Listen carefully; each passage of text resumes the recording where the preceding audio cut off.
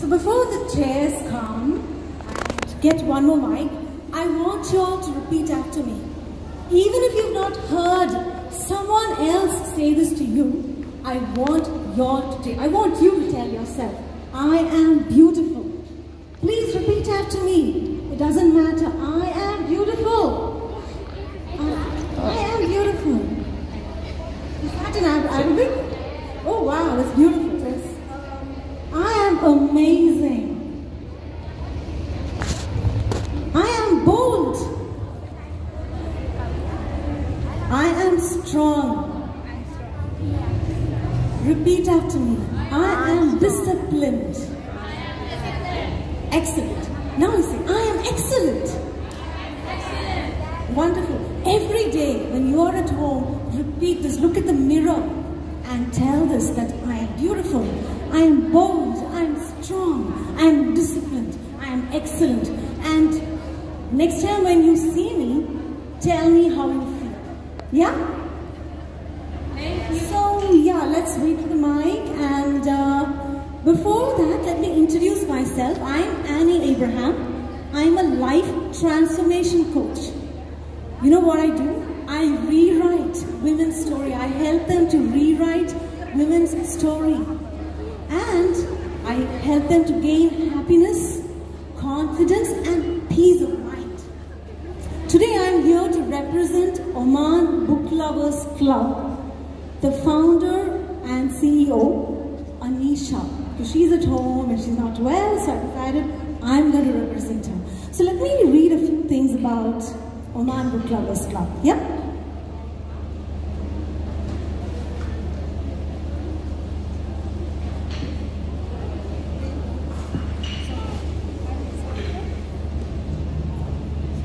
First of all, it's such a great honor to be here today to represent Anisha, yeah, the founder of Oman Book Lovers Club.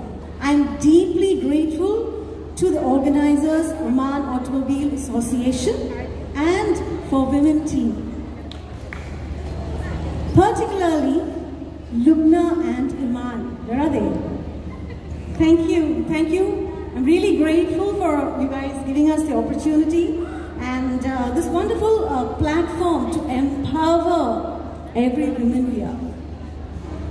So let's all join hands in creating a world where every woman has a chance to thrive and achieve greatness. And thank you for having me here. Oman Book Lovers Club is a community of almost 7,000 members that connects readers, bookstores in Oman. We have an ever-growing free borrowing library of close to 6,000 books available for sharing. So if you are, if you love to read books, if you want to find even books of authors from Oman, please go ahead to Oman Book Lovers stall and get yourself registered because you can read books for free from there.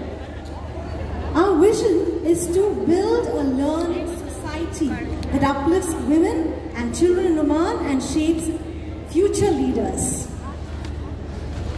Now I want to ask you, does anybody want to write? Do you have a dream to write a book? Do you have a dream to write poetry or be an author? I want to ask at least one of you, does anybody want to write? Or what does the, what is that struggle that you have when it comes to writing? I'm, I'm looking forward for a response. What is that one struggle that you have when it comes to writing? Yes.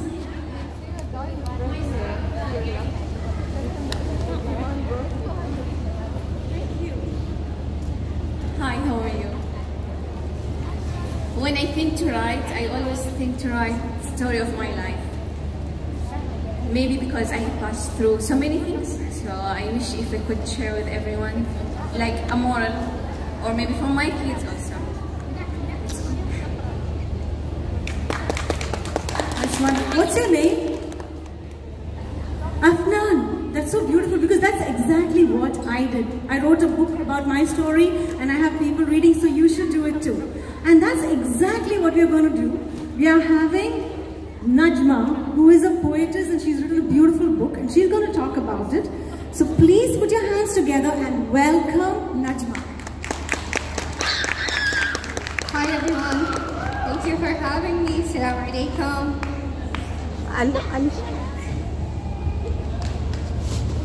Uh, so Najma, can you introduce yourself to everyone here?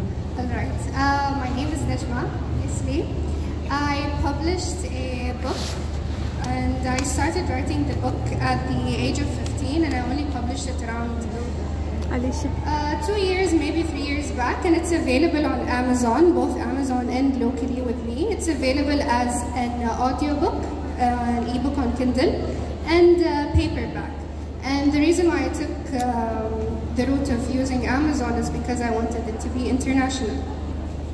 Um, I graduated soon from college and uh, I'm working now, just going through life. Sadly, I don't write as I did before, but um, at least I can say that I published the book after having the people that care for me push me to do it. It's beautiful. Um, so did you tell them the name of the book? Oh yeah, the name of the book is uh, A Bouquet of Poetry. It is basically a collection of poems and it doesn't touch a certain topic. Would you guys like me to also speak in Arabic? It's fine? Okay, good. So the book is a collection of poems and it's not necessarily things that are happening in daily life. It could be imagination as well. And the reason why I wrote this book and I ended up publishing it, at first it felt personal, but then I thought that, you know, if someone out there can relate to what I'm writing, why shouldn't I share it with other people? Because usually we go through things and we feel like I'm going through this alone, it's a tough time, and things like that. You know, we have these kind of thoughts. So the purpose of that was to read something and have it resonate with you. And as long as uh, one person feels something, then I think I did what I needed to do. Fabulous. Um, so what inspired you actually to write and does your book have any themes, something like that that can motivate, uh, that motivated you to compel, complete this collection or Um, compile this collection? Yeah, I, I started writing at a very young age. So my dad used to travel a lot, and I would actually write him letters.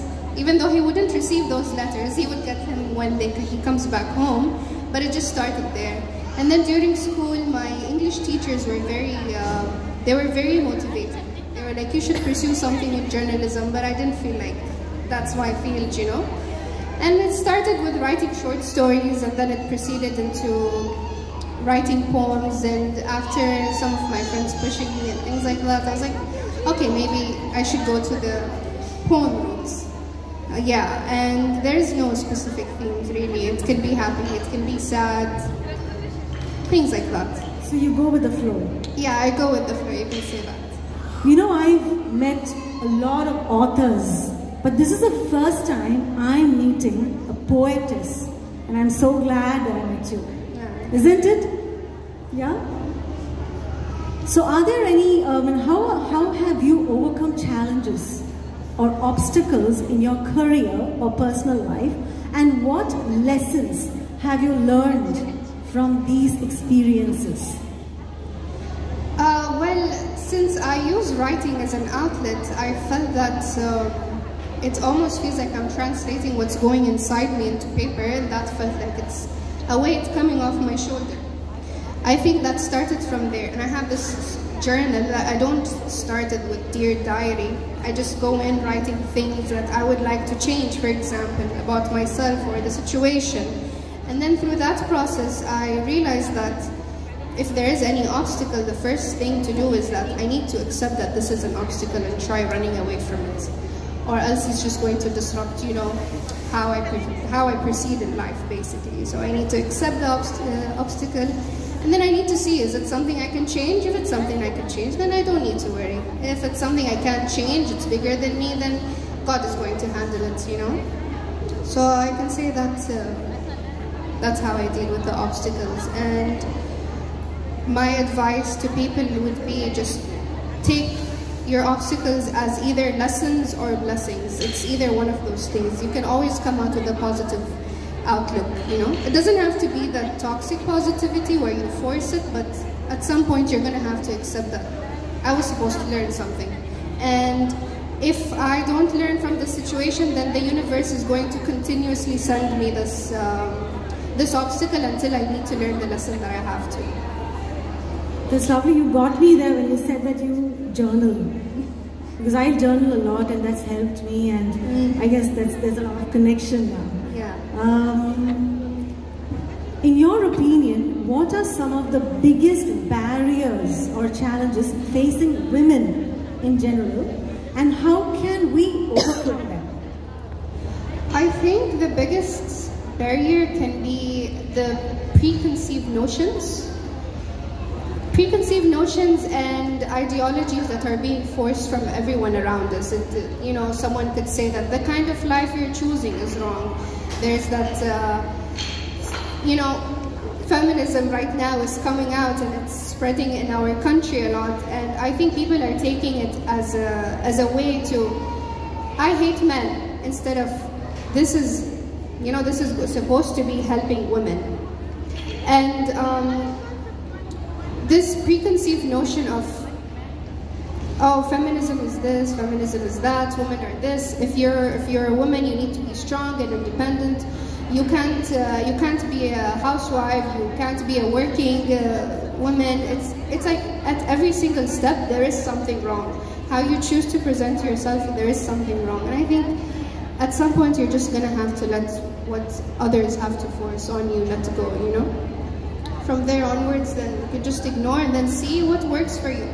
If it works for you being a uh, stay-at-home wife, then go ahead. If it works for you being a working woman, go ahead. If you want to choose the corporate life, if you want to choose looking after your business, everything works, you know, and I think we shouldn't always look at things as we have to be equal as much as we need to get what we deserve.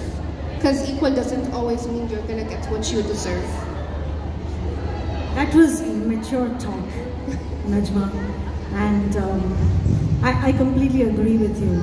Um, how can women support and empower each other and what steps can we take to create a more inclusive and supportive environment for women? I think just having a supportive community in general, um, like, because we have this I, I, I, admit that this is something I used to do before, but after learning, reading, and um, you know, being around people, I learned that this is wrong. It's we have this thing where we're always like in a competition. Who's better? Who looks better? Who has the who has the best items? Who has the best clothes? Who has the best job? I think the first thing is we need to stop looking at each other from this lens of I need to be better than that person and I need to instead be you know, on her side. I'm not saying be on someone's side even when everything is going wrong. It's just that in certain situations you can say that us women are very dismissed and we're very quick to dismiss each other. And I think that's the first thing we need to do is stop dismissing each other and actually take each other importantly because if we don't do that, then who's going to do that? You can't expect that from the other gender because they always back each other up you know, and it always feels like we're in this constant circle that we're supposed to be seeking acceptance from women. That's not really good in the long run when you are down and you need the help of another woman. If anything, women relationships are very nurturing if you think about it, you know? We get to share, we get to talk, we get to be emotional with each other. Like, you can see the friendships around us, they feel very nurturing and loving. And I think if we can extend that to not only in our friend groups, that would be really good. That was very deep and profound. yeah. And I just, uh, prior to this, you were saying that, you know, we should listen to ourselves. It's important that we listen to our hearts. And uh, thank you, Najma, for, you know, really uh, giving us a lot of insights. Uh, especially being young. And you have so much for women, just, yeah, to empower women. And I think that, you know, many women in this world really need someone like you. Thank you. And before we leave, I would like to, because it's all about women empowering women, so I want to share something, three words, just give you three words before you go so that you'll remember this. Three words, are you all ready? So just tell me, wave your hands and say, I'm ready. Yes, yes. Um, so the word is act. A C T. Act. Okay? A is for achieve. What do you want to achieve in life? When, what you want to achieve in life, go and pursue that. If you want to write a book, if you want to learn a new language, if you want a job, if you want to start a business, what do you want to achieve in life? Go and pursue that. The next letter, C, is change. What do you want to achieve? So what changes can you make in your life? Go and change that. What changes you want to change in your life? And the T stands for today. Not tomorrow, today. The best time is today to take action. If you want to achieve, change something today. So A-C-T, achieve, change today. Thank you very much. Have a great evening and thank you once again for giving us the opportunity. Bye-bye.